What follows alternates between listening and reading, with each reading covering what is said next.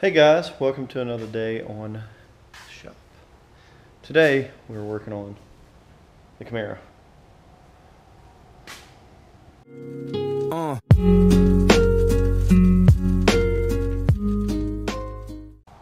So today we're kind of going the same direction as we went last video. We finished up the rear.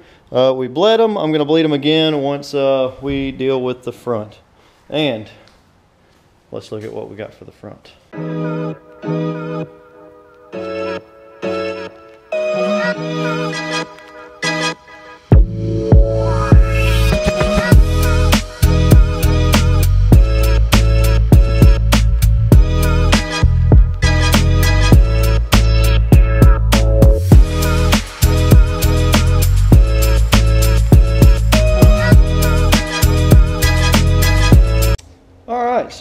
See uh, we got some new stop or power stop brakes, uh, calipers, and rotors, vented and slotted, slotted and vented, uh, drilled, whatever you want to call it, and some new lines for this. So uh, we also got some pads, some power stop extreme street performance brake pads. This is a little kit you can order from Summit, Jegs, whatever. So it's about 200 and $200, 220 something like that. Uh, took a little while. Rotors were on back order. Had everything else waiting on it. Uh, so now we're going to pop this off and take a look at the old hardware and get ready to put this new hardware on.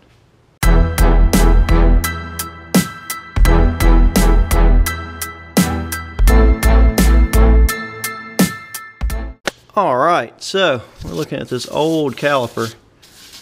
Oh, so looks like this is gonna be fun to get into. So we're gonna, gonna dig all this thing out of here. This thing's rusted two pieces, and then we got this old rotor that's coming out. So this thing's just a plain old rotor, plain old pad, plain old caliper going to that new stuff.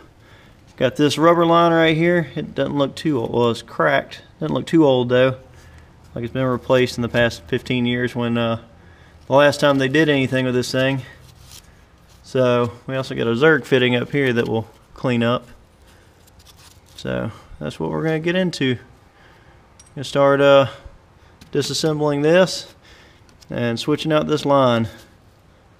Alright, so I'm using my swivel head uh, 3 16 ratchet from Olsa Tools mixed with their hex head 3 16 9 millimeter uh, hex head to get this off.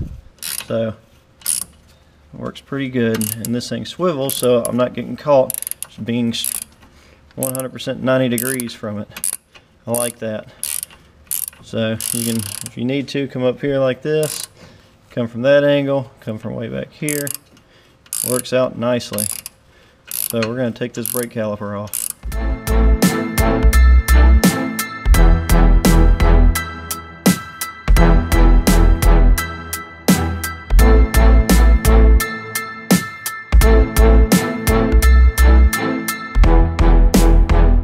Now that this is loose, I'm going to go ahead and undo this up here and uh, just pop this whole line off with this since I'm replacing it anyway. So that's what I'm going to do right now before I pull this off to make it easier. So I'm going to go ahead and knock this out up here.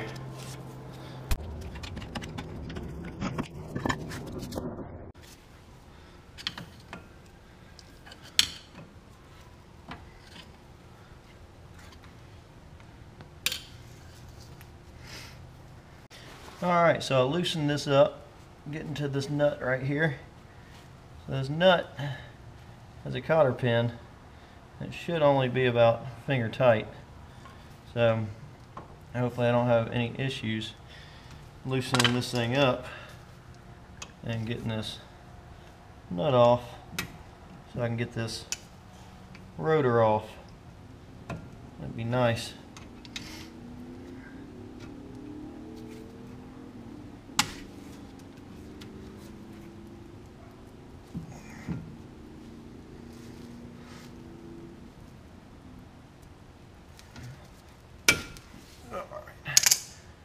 There we go. Yep. Finger tight. Got a lot of bearing grease in here. Gonna replace this. Probably clean it all up.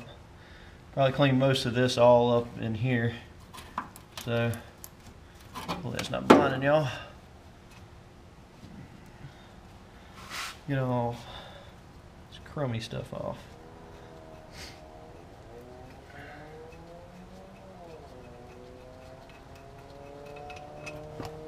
Alright, but you see that?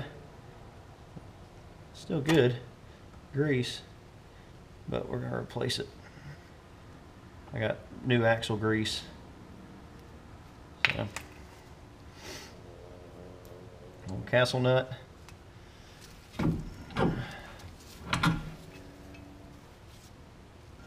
Bearing. Alright. Got some new bearings, got a new some seals back here.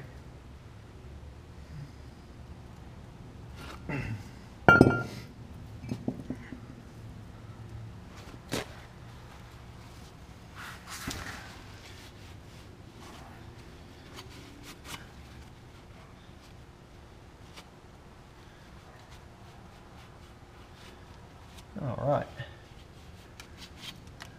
Let's get all this nastiness up here. Clean all this dust and dirt off too. So, make sure to wrap all this up and clean it and then re-grease it.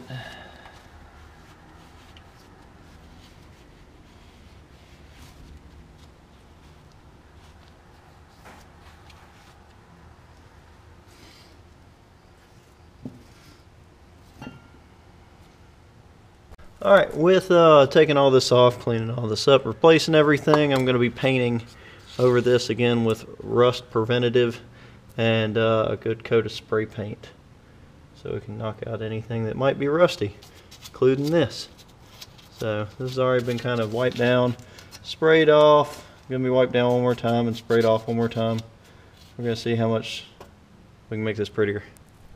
All right, when you're doing this, you're going to get extra dirty because you've got to put a seal in, a lot of grease, and a bearing. These are still good. So I'm just going to repack these. Uh, there's no play in them or anything. So repacking and just putting the seal back in and making sure there's plenty of grease on the interior of this. So I'm going to clean this off real quick with some brake cleaner, wipe it out, put some new grease in it, pack this bearing with multi-duty uh, complex grease. So we're going to do that.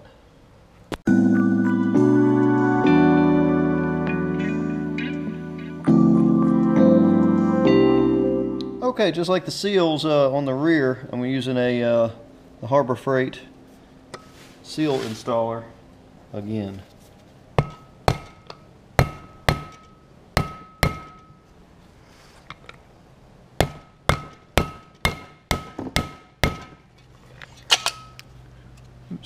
Let's get to a harder surface.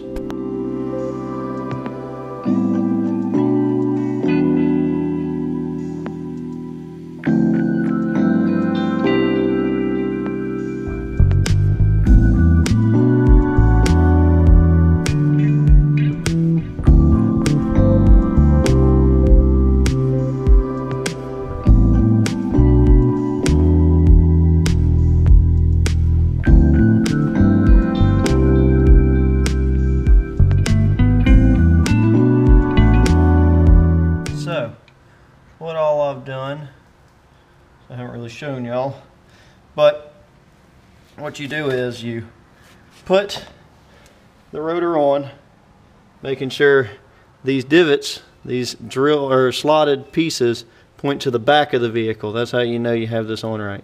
The second thing is when you're putting the nut on, you hand tighten it until you can't tighten it anymore while the rotor's spinning. Back it off just a hair. There's So there's two holes that cross uh, in the spindle itself through the threads. After you've tightened the nut all the way on as tight as you can get it, you want to make sure you loosen, not tighten anymore. You want to loosen it back to one of those holes. Just barely loosen it. You shouldn't have to loosen it very much. Put the cotter pin in, secure it, pack some more grease in this little uh, grease cap, and now we're gonna tap this on with a rubber mallet. But as you see, this thing rotates really well. Whenever, you, like I said, whenever you're doing this, make sure these slots point towards the back of the car. That's how you know you have these on right. So I'm going to pop this back on and then we're going to uh, get the caliper on and replace that line. Well, if there's one thing I hate on cars, it's bearing grease. I cannot stand it. Everybody else hates gear oil. I hate bearing grease. Gets stuck in my skin and I can never get it out. I hate it. So, getting down here to the new calipers. We're gonna break open this box of pads. All right, there we go. Look at that. New hardware, new pads, new pad grease. So, I'm gonna pull these pads out. We're gonna loosen these up right here. And we're gonna put the, the pads in and then we're gonna tighten these back down once we secure it into the car. So these hold the pads and the caliper in place. So I got some brand new banjo bolts. So let's set y'all up over here. All right, so this goes like this. So what we're gonna do is we're gonna sandwich banjo bolt, banjo bolt. Oop.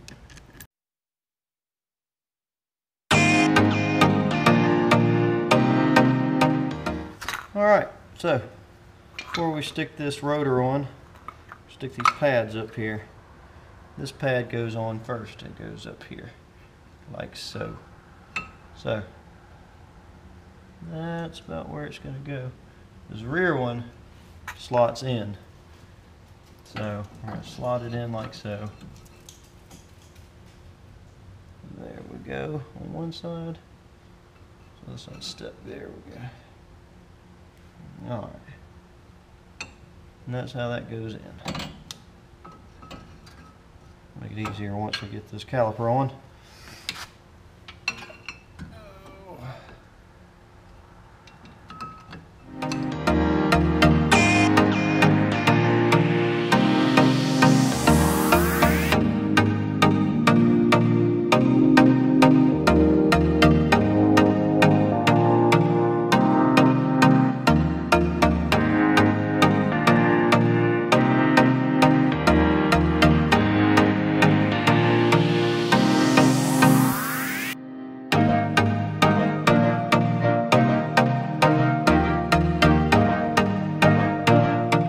Got this on.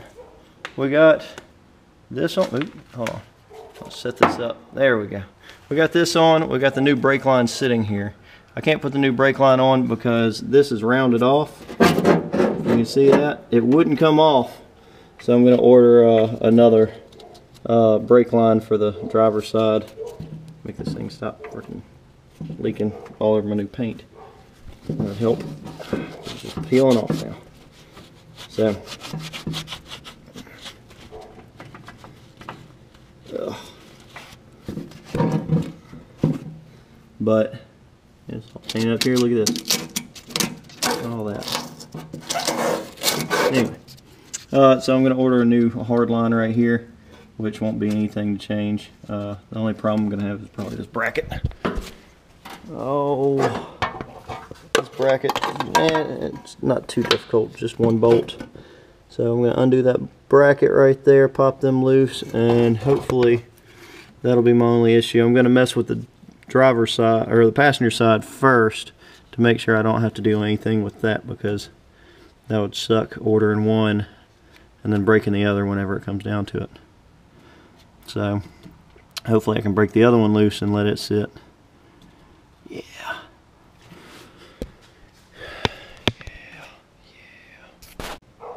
So anyway, uh, yeah. Hopefully I taught you something. Maybe I didn't. I didn't. Just tell me in the comments.